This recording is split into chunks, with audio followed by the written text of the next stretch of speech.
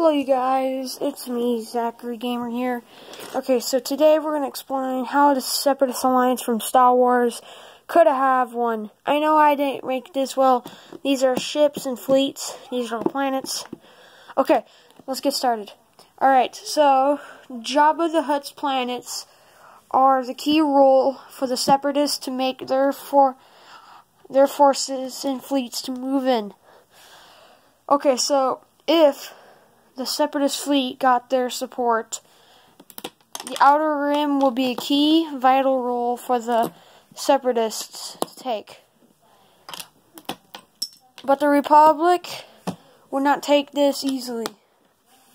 So they probably would have actually summoned a little fleet of a couple ship, two ships to blockade one of their fleets.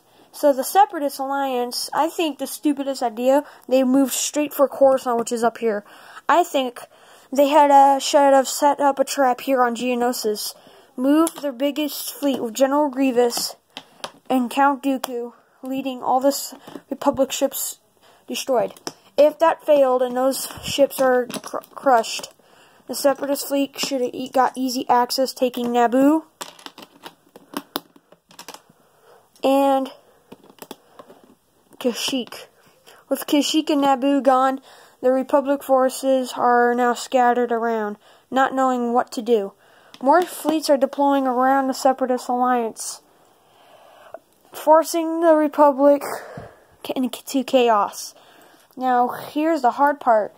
Now, we all are thinking, oh, the Separatists, uh, they're all evil and droids are bad, and their whole entire things are corrupt. But actually, no. The separatists would actually try to sue for, for peace since they're already happy with what they got. So if they actually did get this, the war would soon end with a separatist victory. And that's how I think the war would have, gone. Um, yeah, and see y'all later.